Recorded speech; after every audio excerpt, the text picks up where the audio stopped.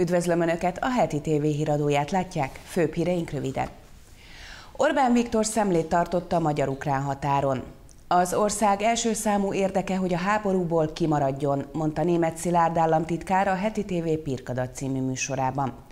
A NATO nem lép be Oroszország Ukrajna elleni háborújába, jelentette ki Olaf Scholz, német kancellár csütörtökön Berlinben. Izrael még legalább egy hónapig érvényben tartja a beltéri maszkviselésre vonatkozó szabályozást. Kavélyó Kolini Bori vagyok. Belföldi híreink. Ideiglenes tartózkodásra jogosító igazolást adott át Orbán Viktor miniszterelnök Senger Simán egy Ukrajnából menekült családnak a kormányfő közösségi oldalára feltett videó tanúsága szerint. A kisfilmből kiderül, hogy a két gyermekes család Olaszországba készül tovább utazni. Havasi Bertalan, a miniszterelnök sajtófőnöke arról tájékoztatott, hogy Orbán Viktor miniszterelnök szemlét tartott a Csengersimai magyar-román határállomáson.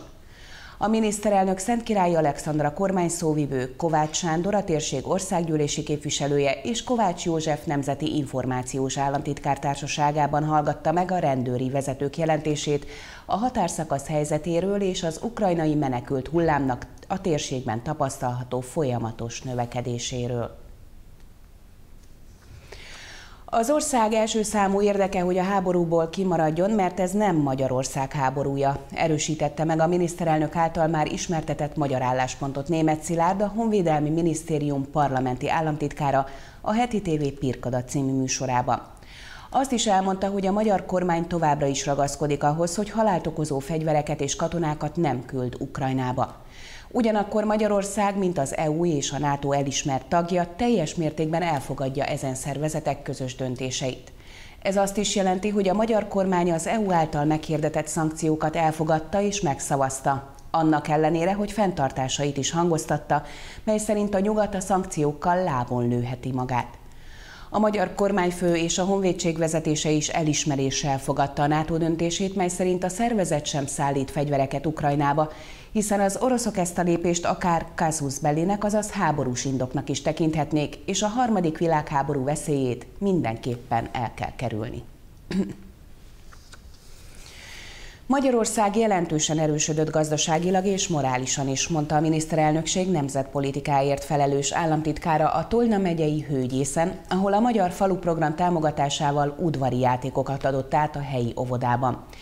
Potápi Árpád János, aki a térség Fideszes országgyűlési képviselője és a Dombóvári választókerület Fidesz KDNP-s jelöltje is, Hozzátette, a gazdasági erősödés eredményezte azt, hogy a családtámogatási rendszert folyamatosan tudták bővíteni, aminek egyértelmű nyertesei a gyermekes családok. Az államtitkár felhívta a figyelmet arra, hogy április 3-án nem csak országgyűlési választás lesz, hanem népszavazás is, amely lehetőséget ad a gyermekeink védelméről szóló kiállásra. A gyermekeink melletti kiállás azt is jelenti, hogy oktatási rendszerünket és intézményeinket is folyamatosan korszerűsítjük, hangoztatta. Amennyiben az ellenzék alakíthat kormányt, akkor tisztességesen elszámol a devizahitelesekkel, mondta Szakács László, a Demokratikus Koalíció és az ellenzék Baranya megye második választókörzetében induló képviselőjelöltje. A jelenleg az MSZP frakciójában dolgozó politikus azt mondta, hogy az Orbán rezsim magára hagyta a devizahiteleseket, ölbetett kézzel nézte végig, ahogy magyar családok ezreit lakoltatták ki. A képviselő kijelentette, változtatni kell azon a szemléletmódon, hogy a bankok és a követeléskezelők még akkor is pénzt kérnek az adósoktól, amikor már elvették tőlük az ingatlanjukat. A politikus azt is megígérte, hogy felülvizsgálják a végrehajtásokat, a szükséges jogszabályok megszületéséig pedig felfüggesztik ezeket az eljárásokat. Külfölddel folytatjuk. Izrael még legalább egy hónapig érvényben tartja a beltéri maszkviselésre vonatkozó szabályozást a koronavírus esetek újbóli megjelenésétől való növekvő félelem miatt, jelentette Benaftali Bennett miniszterelnök, miután megbeszélést tartott az egészségügyi tisztviselőkkel. A miniszterelnöki hivatal közleménye szerint Bennettel és Nitzan Horowitz egészségügyi miniszterrel ismertették a legfrissebb számadatokat Izraelből, valamint a világ különböző országaiból, különös tekintettel Kínára, ahol az elmúlt hetekben jelentős ugrást tapasztaltak az új esetek számában. Bennett irodájának közleménye szerint a hatóságok ellenőrizni fogják a vakcinák és gyógyszerek leltárát egy súlyos koronavírus törzs előfordulása előtt. Emellett felgyorsítják az osztálytermek számára a légszűrők kiosztását, és fenntartják a Meganávot programot, amelynek célja az idős otthonok és más veszélyeztetett lakossági csoportok védelme. A Financial Times szerint az Ukrajna és Oroszország közötti tárgyalások előmozdítása során Naftali Bennett miniszterelnök elsődleges nemzetközi közvetítői szerepét hangsúlyozza, megemlítve Erdogán török elnök közvetítői hozzájárulását is a diplomáciai erőfeszítések sorában. A brit hírügynökség úgy tudja, hogy a szemben álló felek először hétfőn tárgyaltak komolyabban a teljes megállapodás, azaz egy 15 pontos javaslat részleteiről, mely szerint Ukrajna feladná azon törekvését, hogy csatlakozzon az Egyesült Államok vezette NATO katonai szövetséghez, tűzszünetért, orosz kivonulásért és megfelelő biztonsági háttérért cserébe. Kiev és Moszkva állítólag jelentős előrehaladást ért el egy olyan megállapodás megkötése felé, melynek értelmében Ukrajna korlátozza haderejét, és semleges maradna azáltal, hogy elveti a katonai tömbhöz való csatlakozást. Ugyanakkor ukrán megfigyelők szerint a tárgyalások nyilvánvaló előrehaladása ellenére Oroszország valószínűleg csak időt akar nyerni, hogy átcsoportosítsa hadseregét a színfalak hátterében. A NATO nem lép be Oroszország Ukrajna elleni háborújába, jelentette ki Olaf Scholz német kancellár csütörtökön Berlinben. A kancellár Jens Stoltenberg NATO főtitkárral folytatott megbeszélése előtt tett sajtónyilatkozatában kiemelte, hogy országa kiáll a bátor ukránok mellett, és pénzügyi és humanitárius támogatás mellett katonai felszerelésekkel is segíti, hogy megvédhessék hazájukat az orosz agresszióval szemben. Hozzátette, hogy megrendít bennünket a sok orosz fiatal sorsa is, akiket vezetőik értelmetlen háborúba küldenek, küldenek saját szomszédjaik ellen.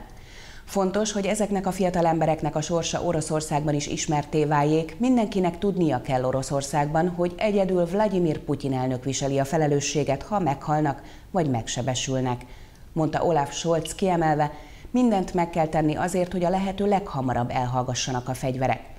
Ugyanakkor fűzte hozzá a német kancellár, azt is világosan és egyértelműen ki kell mondani, hogy a NATO nem lép be katonailag ebbe a háborúba.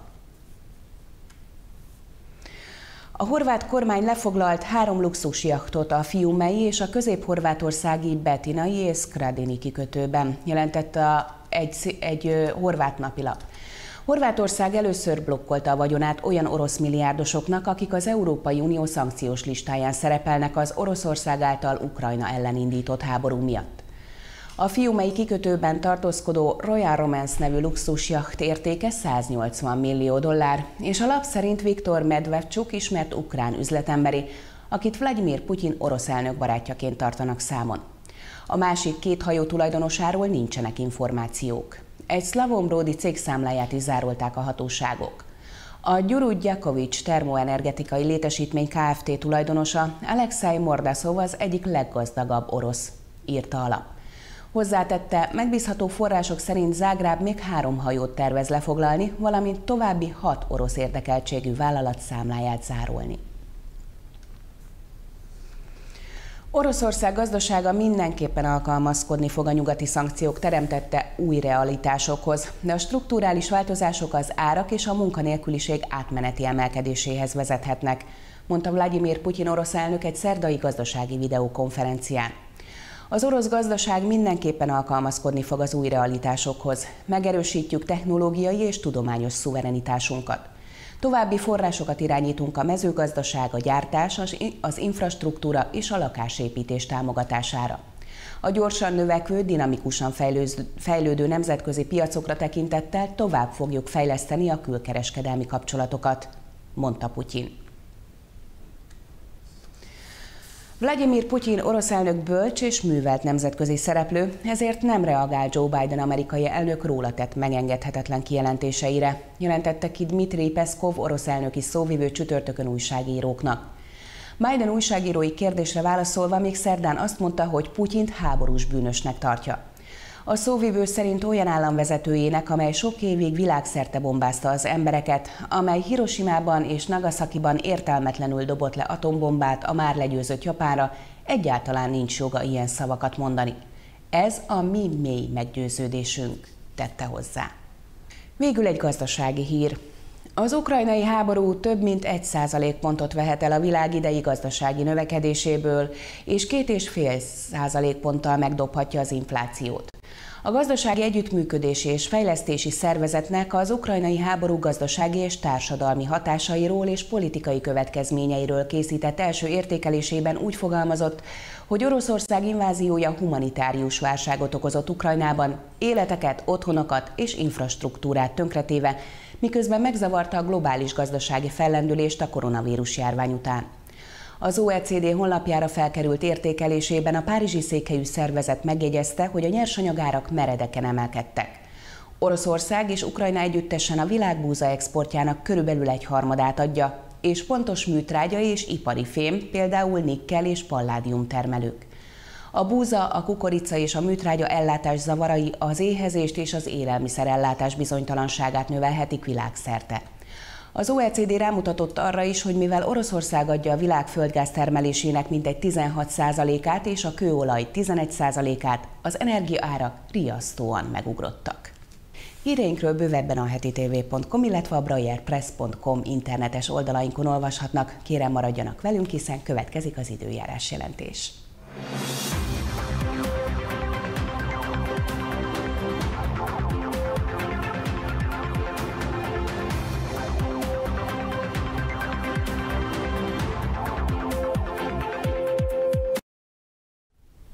Ma főkép szakadozottan felhős, változóan napos időszakok, területek váltakoznak. Este mindenütt lecsökken a felhőzet. Éjszaka zömmel csillagfényes, itt-ott mérsékelten, vékonyabban felhős égbolt várható. A hőmérséklet jellemzően mínusz 1 plusz 13 fok között alakul. Köszönöm figyelmüket, viszontlátásra!